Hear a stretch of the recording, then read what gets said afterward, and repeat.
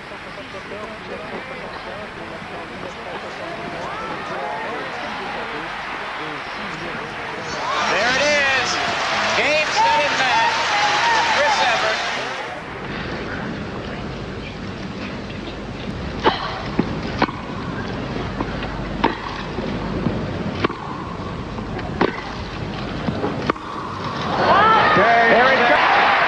1981 was a very special Wimbledon uh, victory for me. That was my third title at Wimbledon that I had won.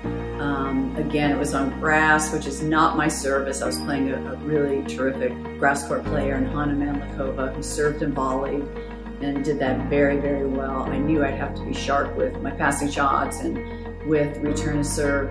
But um, it was special because I was married to a Brit. I was married to John Lloyd, and I had full support of the crowd during that time. As a matter of fact, the Brits kind of adopted me and felt like I was their own. So I got the cheering. And on the scoreboard, I was not Chris Evert, but I was Mrs. J.M. Lloyd, which was questionable a little bit. I mean, it kind of took away my identity, but um, so I had a different name there. But my game was sharp and everything was working. I was I was lean. I was in good physical shape. Um, I was happy.